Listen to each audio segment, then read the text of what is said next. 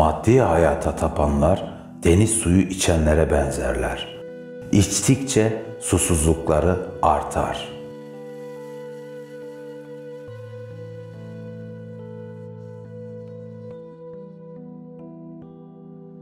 Üç şeyden kork.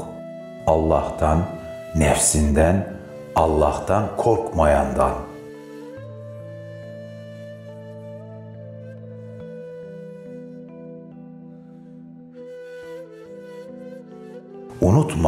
Elindeki sırrı saklamayana yeni sır vermez sırrın sahibi.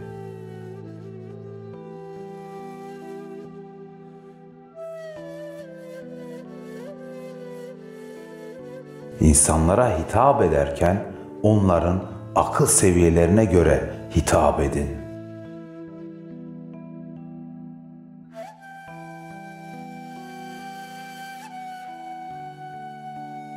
Allah senin aynan ve sen onun aynasısın.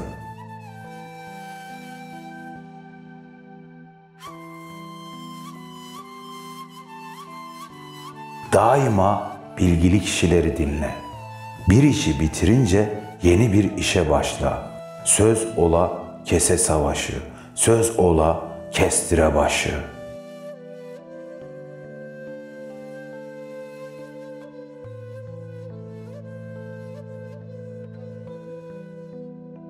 Bilmediği konuda sorması gerektiğini bilmemek de cahilliğin bir parçasıdır.''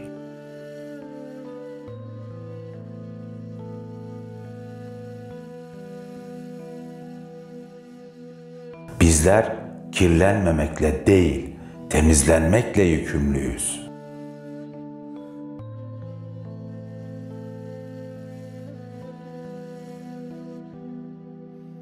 Bizden büyük ya da güçlü olan kazanmaz oğul. Allah kimin yanındaysa o kazanır.''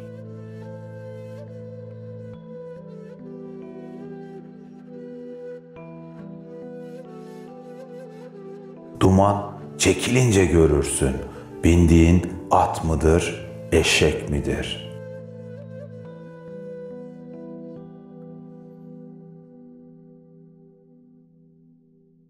Bazen namazda veya oruçta bulamadığın feyzi bela ve sıkıntıda bulursun.''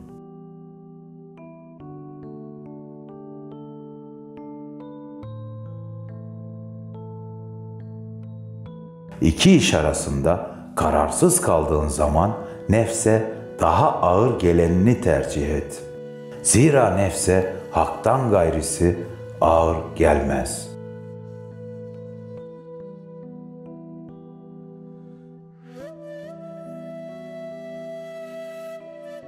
Bilmediklerini bilenden öğren. Bildiklerini de bilmeyenlere öğret.''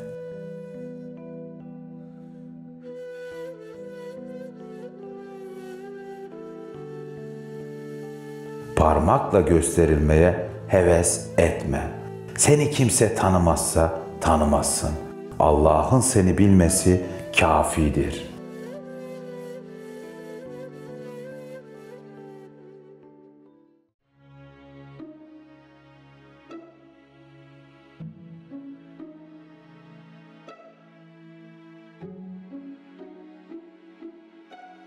İbni Haldun'a zamanı sormuşlar.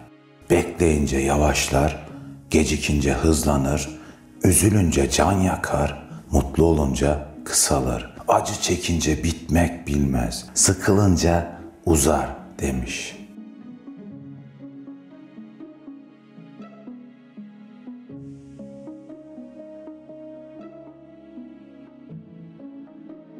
Benim çırpınışlarım sevinçten değildir. Ele geçirilmiş kuş da çırpınır.'' Umursamazlığım da sevincimden değil, bazı olayları hatırlamamdandır.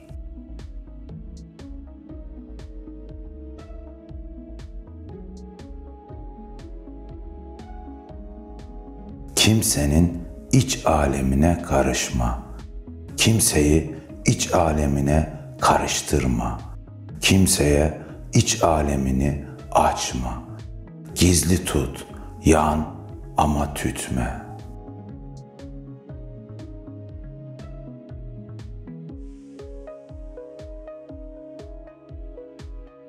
Senden yüz çevirene senin de yüz çevirmen isabetlidir. İnsanların sana kapılarını kapadığını gördüğünde oradan ayrıl ki Allah sana başka kapı açsın.''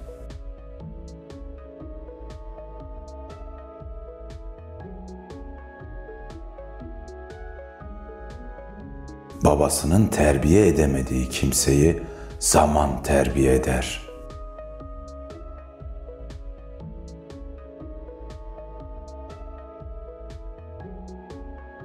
İnsanlara kendi derecelerine göre muamelede bulunmak da adaletin bir parçasıdır.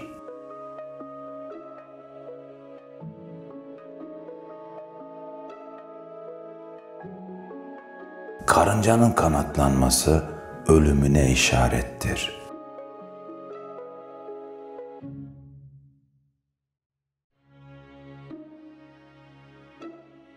Aza kanaat eden toktur. Çünkü az hiçten çoktur.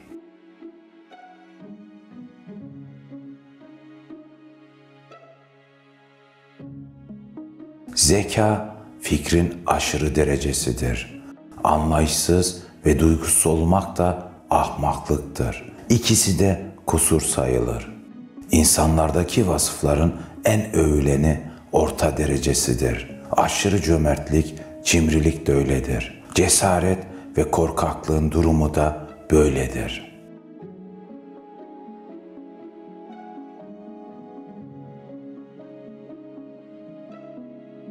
Gıdaların vücut üzerinde görülen etkileri gibi açlığın da vücut üzerinde etkilerinin olduğuna şüphe yoktur.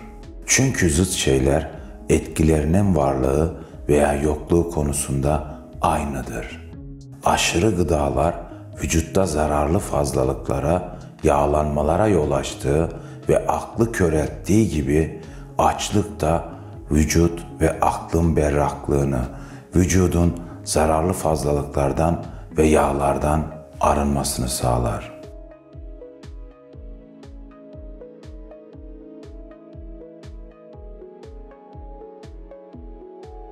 Nefsi bolluğa rağbet ettirirsen bolluk ister. Az kanaate alıştırırsan aza kanaat eder.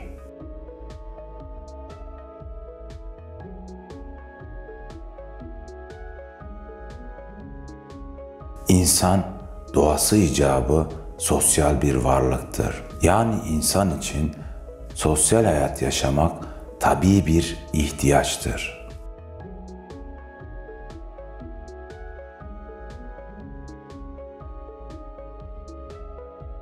Bir devlette halka yükletilen vergilerin miktarı az olursa ahali çalışarak servet kazanmaya heves eder, ülke kalkınır.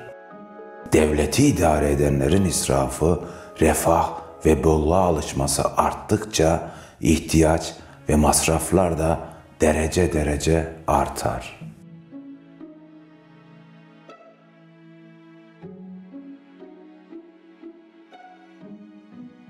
Düşünmek Müslümanlar tarafından terk edildi ve bu yüzden zelil bir hale düştüler.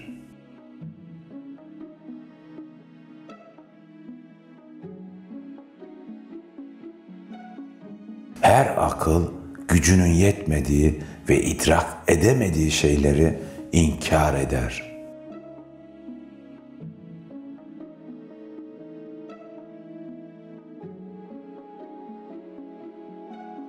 Türkler hayır ve hayratı seven, ecir ve sevap uman insanlardır.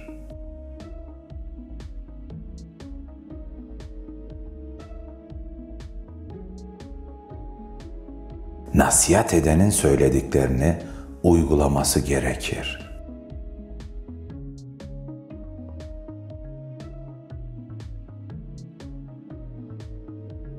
Merhamet masum olduğu için her kalbe misafir olmaz.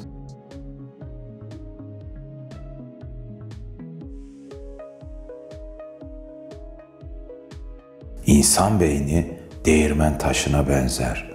İçine yeni bir şeyler atmazsanız kendi kendini öğütür durur.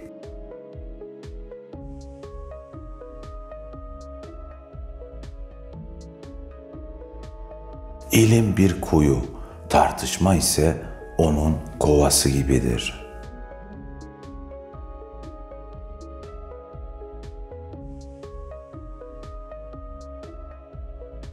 Yalan şeytanına karşı aklın ışığıyla mücadele etmek gerekir.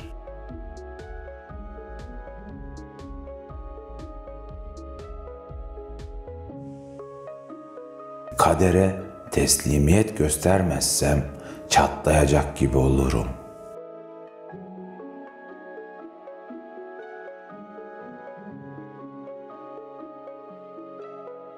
Cehalet hastalıklı ve havası bozuk olan otluğa benzer. Cahil adam bu hastalık tesiriyle doğrusunu yalandan ayıramayarak rastgeleni toplar ve bunları eserinde nakleder.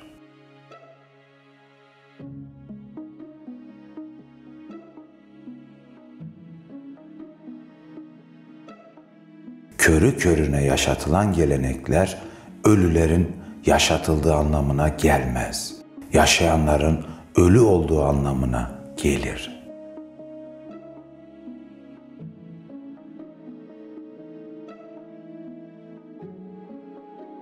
İnsan özü bakımından cahildir. Edindiği bilgiyle alim olur.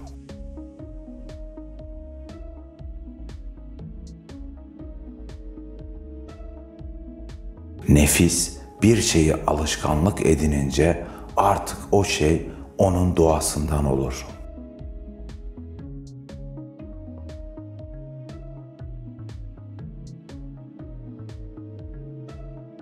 Bir kimse belli bir gıdayı almayı alışkanlık haline getirdiğinde vücudu onun alınmasına uygun hale gelir ve o gıda değiştirilmesi hastalığa sebep olur.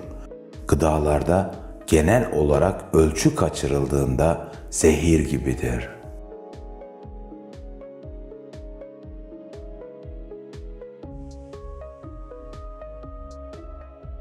İlme yasak koyanlar veya insanları yalanla meşgul edenler aklın ve insanlığın en büyük düşmanlarıdır.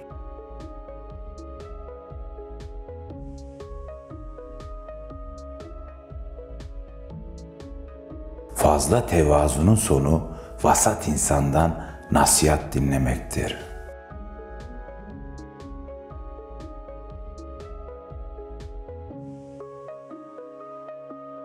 Bil ki bir gün bittiğinde kendisinde taşıdığı bütün imkan ve fırsatlarla birlikte biter.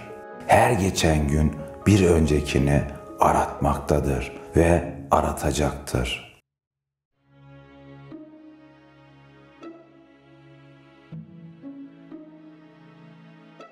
Hayat bir akış gibidir. Her değişiklik aksini icap ettirmekte. Her yükseliş bir düşüş ile sonuçlanmaktadır.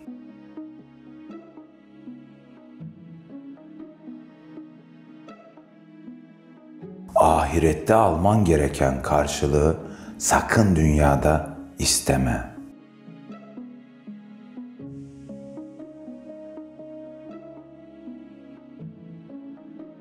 Alışkanlıklar insanın tabiatını alışa geldiği şeyler istikametinde değiştirmektedir. Bu yüzden insan geldiği soyun değil, yaşadığı ortamın ve alışkanlıklarının çocuğudur.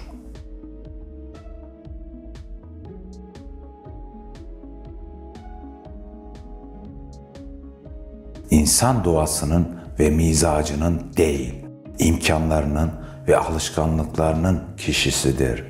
İnsanın alıştığı durum giderek onun tabi karakterinin yerini tutmaya başlayan bir ahlak, meleke ve adet haline gelir.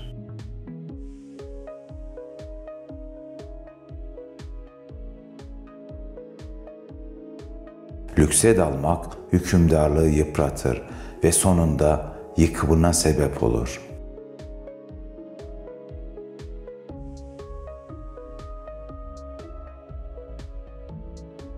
Fazla zengin olmamak hakiki şeyhin ve hocanın. Kısa sürede zengin olmak sahte şeyhin ve hocanın belirtisi olmuştur.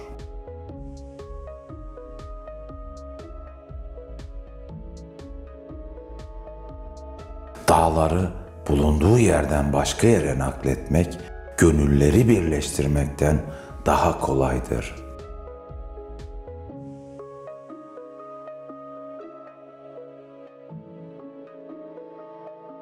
Bir fikir, mezhep ve inanca taraftarlık karışır ise insan ilk ağızda kendisine uygun olan haberleri kabul eder. Bir fikir ve mezhebe taraftarlık insanın dikkatle düşünerek haberi tenkit gözünden geçirmesine mani olur. Yalanı kabul eder ve nakleder.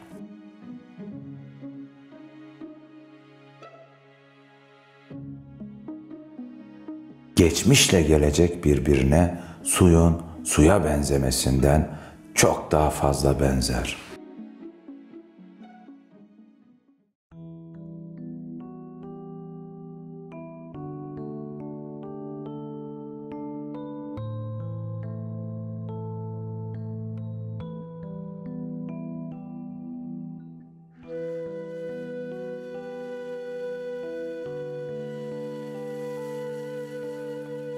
İbn Sina'ya hastalıkların nedeni sorulduğunda bir yediğini sindirmeden yeniden yemektir demiştir.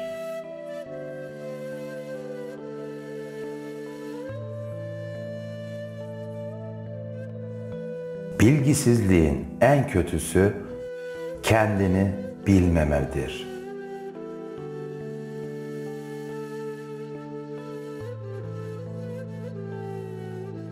Kendinin ne olduğunu bilen insan bazı kendini bilmezlerin onun hakkında söylediklerinden etkilenmez.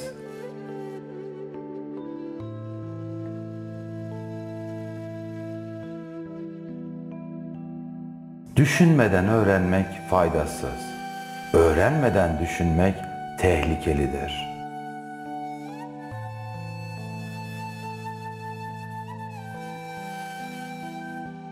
Aletlerin en faydalısı kalemdir. Bir şişe mürekkep bir külçe altından hayırlıdır.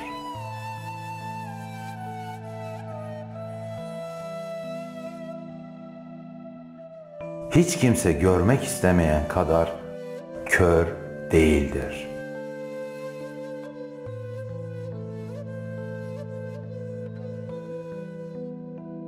Hayatın genişliği uzunluğundan daha önemlidir.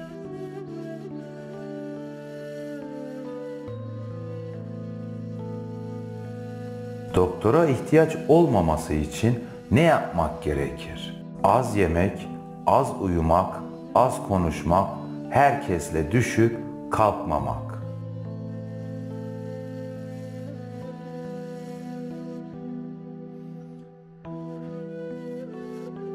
Benim gönlümün kırılmaz sabrı, senin gönlünün yumuşamaz katılığı var. Şu halde sevgilim, aşk için ikimiz de sert taşız.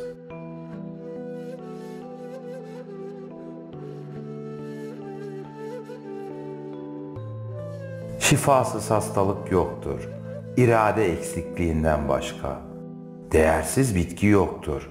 Tanınmamasından başka.''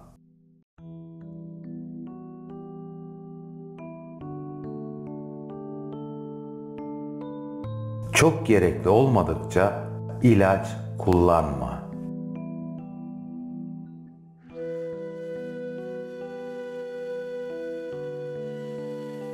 İnsan erdemli ya da rezil yaratılmamıştır. Ama yapısı gereği ikisine de eğilimlidir. Hangisi kolayına gelirse ona yönelir.''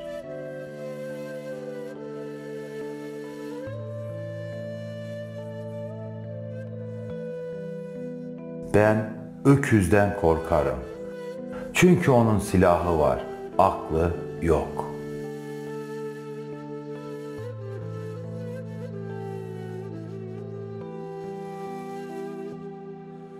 İyiliğin şartı beştir. Tez olmalı, gizli olmalı, gözde büyütülmemeli. Sürekli olmalı ve yerini bulmalı.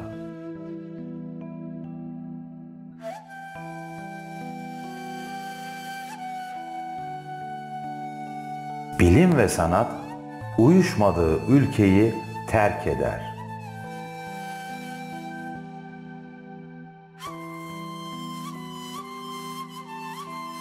Dünya bir oyun ve eğlence yeri değildir.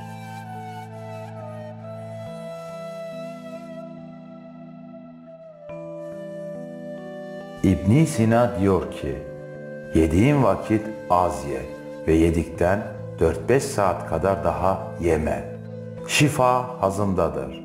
Yani kolayca hazmedeceğin miktarı ye.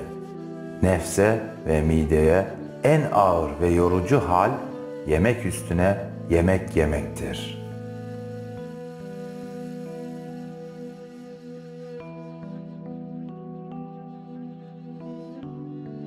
İnsan alışkanlıklarının çocuğudur.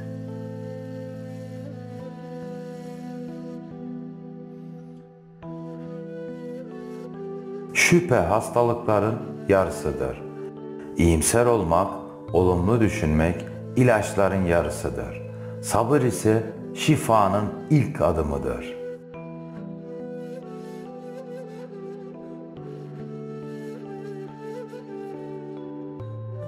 Faziletler alışkanlık haline gelince saadet doğar.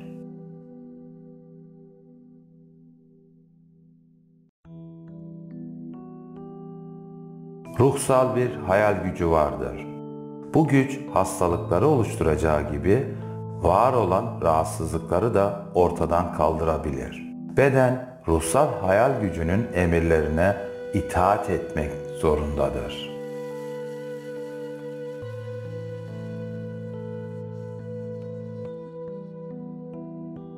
Bildim ve anladım ki hiçbir şey bilinmemiş ve hiçbir şey anlaşılmamıştır.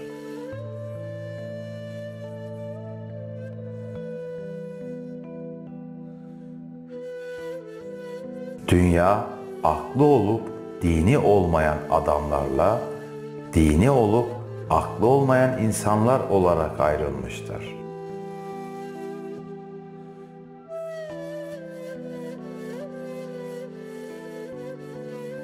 Ben erdemden başka zenginlik tanımıyorum.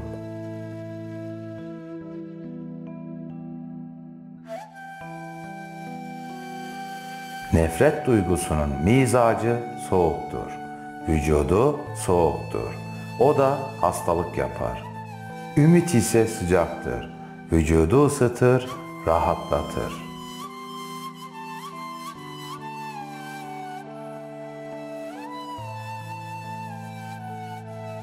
İki şeyi asla unutma. Allah'ı ve ölümü. İki şeyi de unut. Yaptığın iyiliği, gördüğün kötülüğü.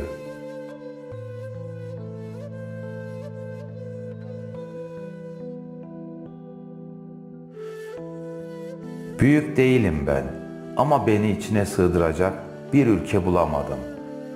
Pahalı da değilim aslında ama kendime alıcı bulamadım.''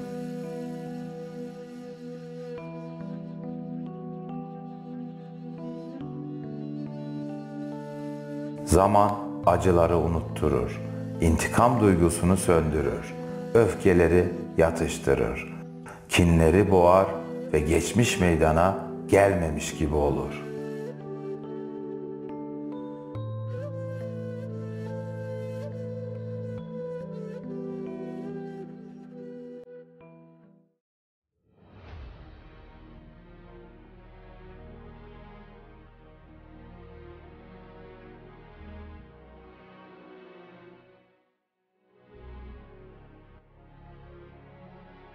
Her kalp kendi hüznünü kavrar. Anlaşılmayı beklemeyin.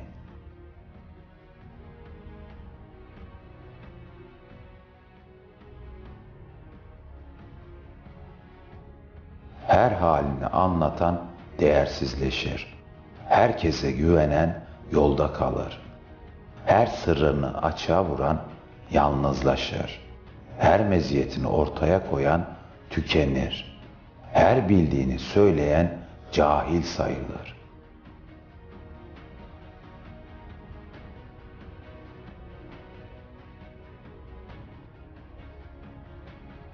Bizde seven üstün ve güzel değil, sevilen üstün ve güzeldir.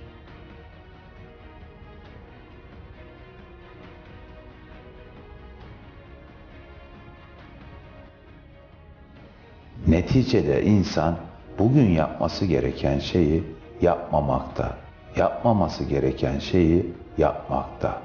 Doğru olmayan birçok şeyi doğru, doğru olan birçok şeyi ise yanlış, saçma görmektedir.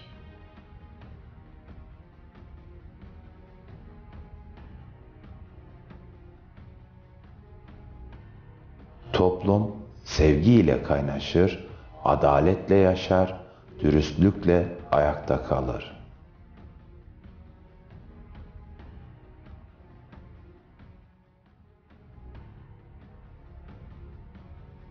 Var mısın ki yok olmaktan korkuyorsun?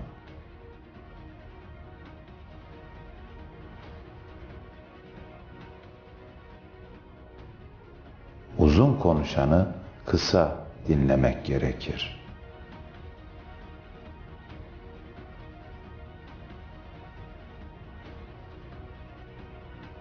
Hiçbir şey kendiliğinden yok olmaz.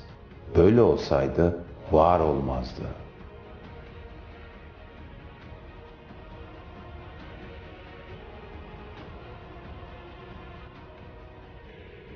Düşünmek ruhun kendi kendisiyle konuşmasıdır.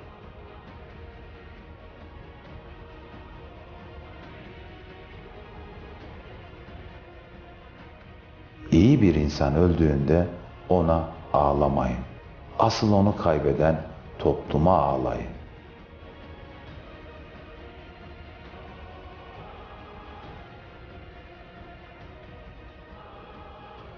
Hiçbir beklentisi olmadan insanlara yardım etmemiş. Onların acılarını, ıstıraplarını, yüklerini paylaşmamış kişilerle yola çıkma.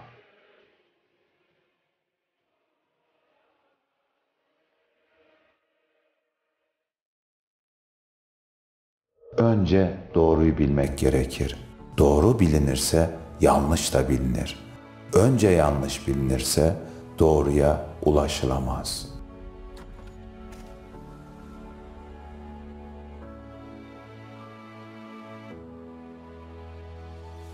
Güzel söz söyleyen kimseden kötü söz işitmez.''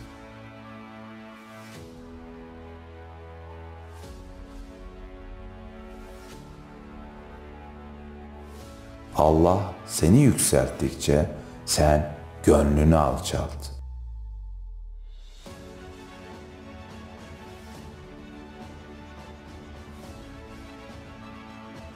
Kimisi uyanıkken hiçbir şey görmez.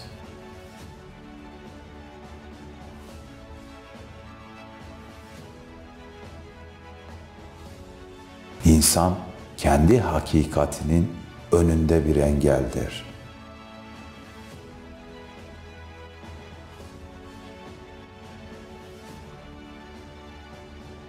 Fazlalıkları ve kendini meşgul eden her şeyi bırakırsan huzuru bulursun.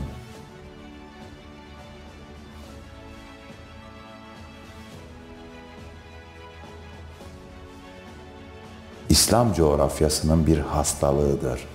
Bizde ilim adamları pek itibar görmez.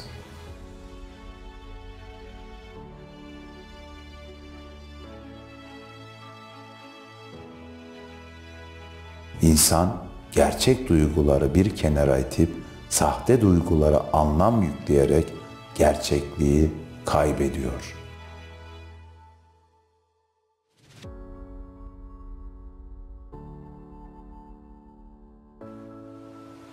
Şunu hiç unutmayın ki aklını ve kalbini bir arada kullanamayan insan ilk önce kendine ihanet etmektedir.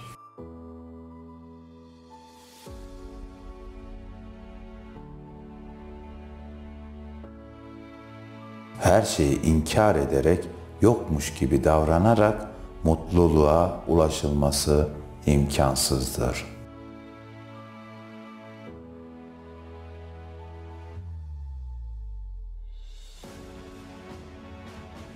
Kendini halkından üstün gören, kendi cahilliklerinden bir haber yöneticiler, ülkelerini ve toplumlarını felakete sürüklemekten başka bir işe yaramayacaklardır.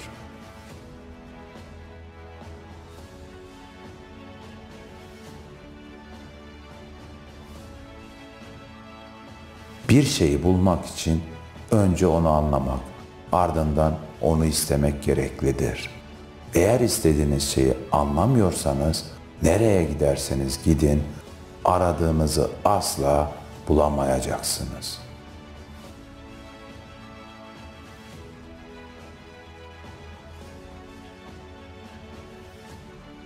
Çünkü her insan kendi çevresindeki beş insanın toplamıdır. İnsanı ne yazık ki içinde bulunduğu çevre şekillendirmektedir.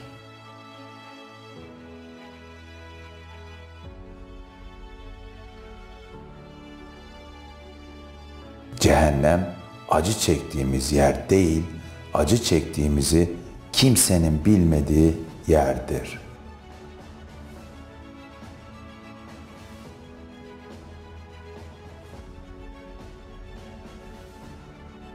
Sohbeti faydasız insanlardan uzak dur.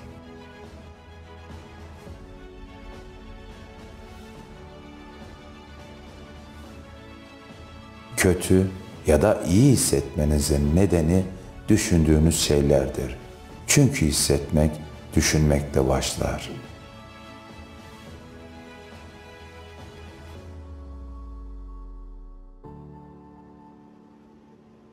Olayların nesnel olarak ve gerçekte ne oldukları değil, bizim için, bizim kavrayışımız açısından ne olduklarıdır bizi mutlu ya da mutsuz kılan.